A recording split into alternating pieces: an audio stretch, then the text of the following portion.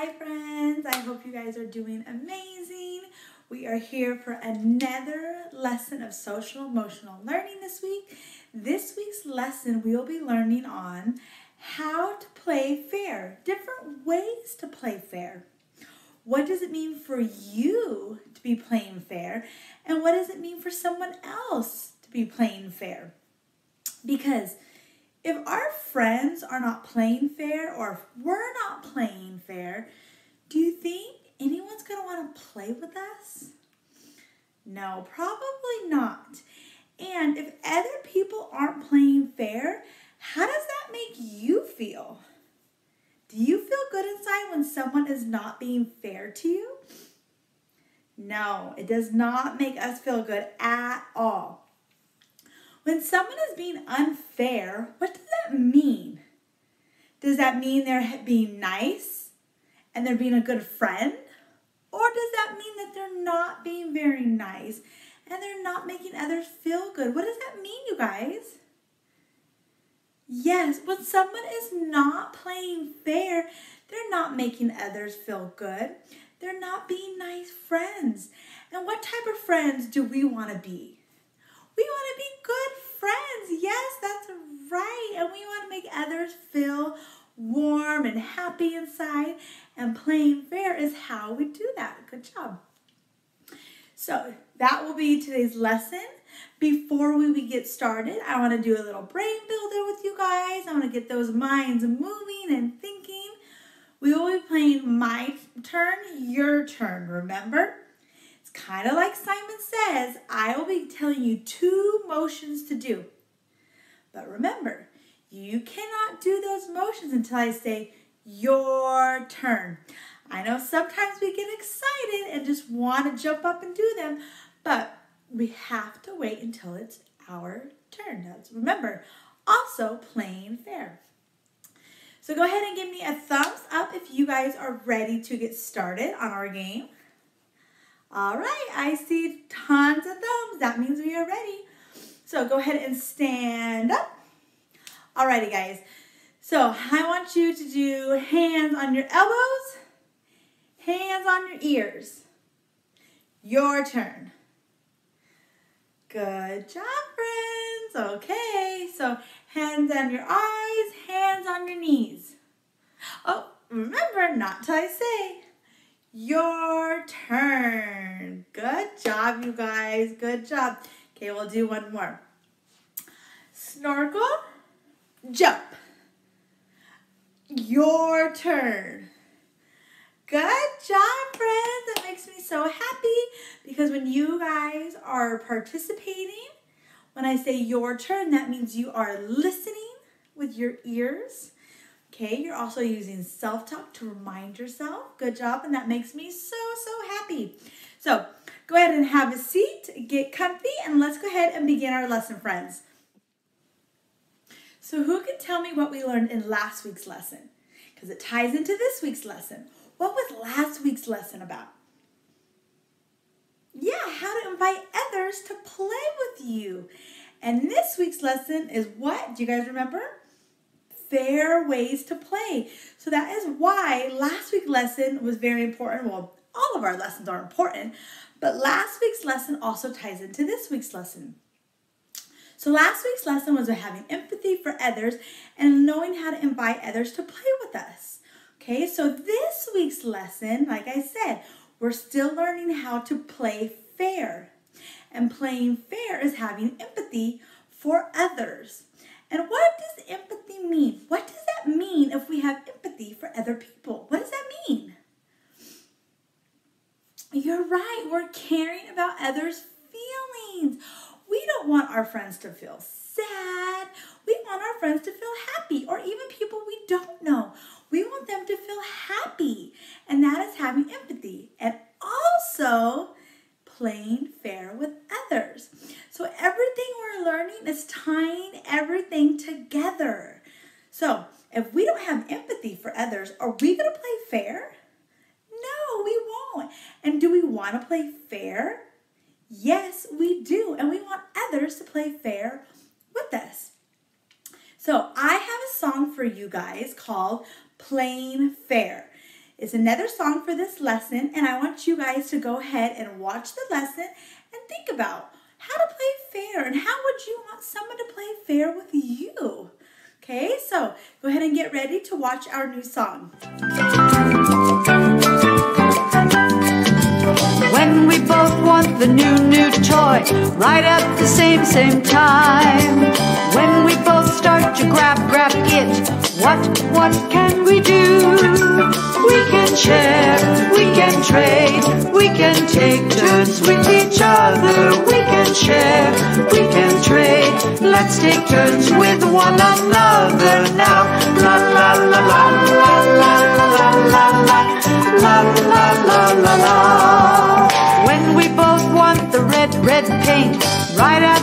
Same, time. When we both start to grab, grab it, what, what can we do? We can share, we can trade, we can take turns with each other. We can share, we can trade. Let's take turns with one another now. La la la la la la la la la la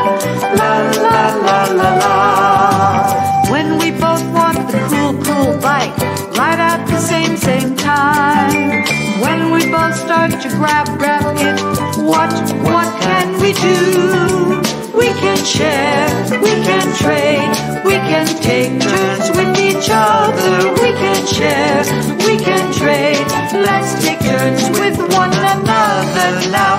La la la la la la la la la la la la la la. If we want to be good, good friends, have fun, fun together.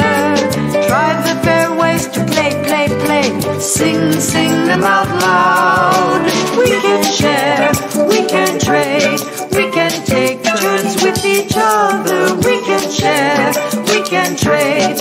Let's take turns with one another now. La la la la la la la la la la la la la la. We can share, we can trade, we can take turns with each other. We can share,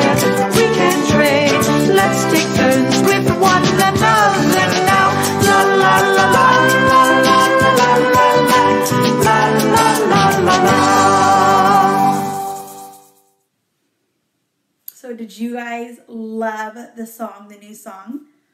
Yes, I love it too. But what did you guys learn most importantly by watching our new song? What did you guys learn? How do you play fair? Yes, we're sharing. We are taking turns. Yes, these are things that will teach us to play fair. Because if you think about it, if you had a friend that was playing with a toy that you really, really wanted and they aren't taking turns, is that playing fair? Mm-mm. We all want to have a turn at something, so we have to learn to take turns. That is playing fair and sharing all those things together, you guys. We're learning how to play fair. So I'm glad the song helped you guys as well. So now that we have watched our song, now it is time for our story and our discussion. So be sure to pay attention. So in this story and discussion, I have two friends in the photo beside me. I have Matthew and I have Fiona. Fiona has two big dinosaurs and Matthew has three little dinosaurs. So they are in class together and they are having free time. So they're each being able to play with dinosaurs, yes. But by looking at the photo, by looking at Matthew and also looking at Fiona, what can we tell by Matthew's feelings? How do you think Matthew feels right now if you just look at his face? What do you think's going on? Who is not playing fair? Can you guys tell by just by looking at the photo? Yeah, it looks like Fiona is not the one playing fair. And then what could you guys come up with by looking at Matthew's face? Yeah, he looks a little sad. Yeah, he looks a little droopy, his head's down, his cheeks are up and smiling and having an amazing time playing. Why do you think Matthew may be feeling sad? They both have toys, right? Yeah, but why do you think Matthew feels sad? You guys aren't sure? Well, so Matthew's feeling sad because he has the little dinosaurs and Fiona has the big dinosaurs. And no one wants to just play with the little ones all the time, right? Mm-mm. So yeah, Matthew's feeling a little sad because he wants a turn at the big dinosaurs. So how is Matthew first going to solve this problem? How do we solve problems? Remember that word that has four letters that we've gone over before on solving problems? What's that word? He's got to go through all of his steps. Ah, yeah, the word is step. Yes, good job. But do you guys remember what each letter means? I'll give you guys a couple seconds. Think, think, think. What does the word step mean? Because step, Matthew has to go through each step to figure out this problem. So what was S again? First, we have to say the problem. Yeah, guys. And what is the problem? Fiona is having all the big dinosaurs and is not sharing. Okay, now, what is T? What does Matthew have to do that represents T? Think of a what? Think, think, what does he got to think of? Think of a solution. Yes, good job. He's got to come up with a solution to solve that problem. Yeah, good job, you guys. So, now that he's figured out S and T, what does E mean again? He, yeah, he has to explore the consequences because he could easily just go grab those big dinosaurs but would that end up in a good consequence if he did that? Probably not, huh? So he would have to come up with a positive solution because if you have a positive solution, you'll have a positive consequence. So maybe he could talk to Fiona or he could talk to his teacher. That could end out something positive, okay? Now, P. What does P mean? What does Matthew have to do to solve his problem. Yeah, he's got to pick the best solution. So with E, he's thinking about, okay, if I do this, I might get in trouble. If I talk to Fiona, maybe I won't get in trouble. So he's got to pick the best solution. What should he pick? Yeah, maybe just talking to Fiona. He could tell Fiona, like, can I have a turn on the big dinosaurs? We can trade and go back and forth or we could play together. Yes, and you see how each letter can help Matthew and even yourself solve your problem on how to play what? Yeah, how to play fair, you guys. Do you guys see how everything ties in together? Yes, because when we're problem solvers on how to play fair, we can fix our problem all on our own. So, once Matthew went through all the letters a step and he was able to solve his problem, he was able to feel better because at the end, he ended up talking to Fiona and they ended up playing together and they were trading back and forth and they ended up having an amazing time playing during their free time.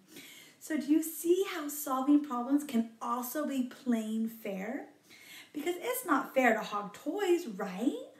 Mm-mm. Not fair at all. We want our friends to share, and we want to be able to share with our friends as well because we want to be good friends. Yeah. So that is our story and discussion. Now I want to hear about a time where you guys maybe had an incident where someone did not play fair with you. And I want to know how you felt inside when that person was doing that. Okay, so go ahead and put your thinking caps on, and I'll go ahead and put my timer on, and you guys will go ahead and share. So think, think, think. When was a time when someone wasn't nice to you and didn't play fair? And how did that make you feel inside? Okay, so go ahead and start thinking.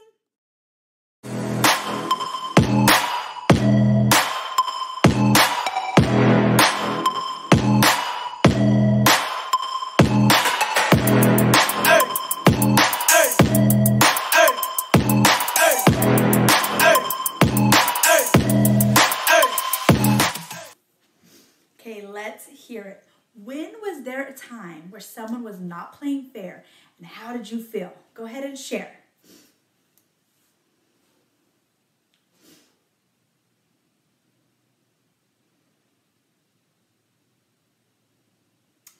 All right, yes, I heard so many different stories, and oh, that makes me feel so sad that some friends or even siblings were not playing fair. They weren't sharing toys because you guys shared with me that it made you super sad, like they didn't like you or you weren't good enough to play with them. And that makes me feel so sad. But knowing how that makes you guys feel, how it made you guys feel sad, now you know if you guys didn't like that feeling, do you think someone else would like that feeling if you did it to them? No, yeah, you guys are right.